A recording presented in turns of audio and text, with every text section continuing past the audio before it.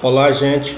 Eu vim aqui fazer esse vídeo para te orientar sobre seu filho, sua filha, que é adolescente ou ainda na idade de 16, 17 anos, para que você vá no colégio buscar ele, ver com quem ele está conversando, é, de uma forma suave. Vá lá no colégio buscar seu filho, se você pode ir buscar, vá buscar.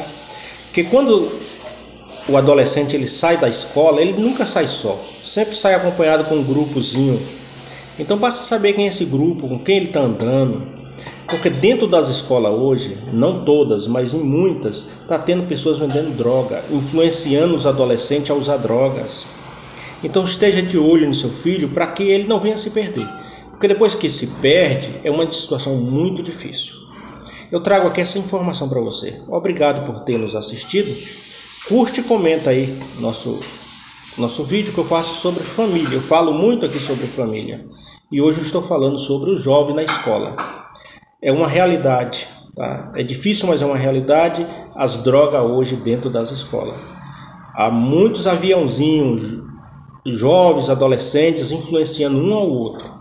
Olha com quem seu filho anda, o que conversa. Porque a situação é assim, ó. O povo mau, usuário de droga, que anda na, na criminalidade, pessoas que andam fazendo coisas erradas, eles têm raiva de quem anda certo. Você já viu aquelas pessoas que dizem assim, ó, eu não vou com a cara de fulano. Eu não gosto de fulano, não suporto aquela pessoa. Geralmente porque são pessoas má.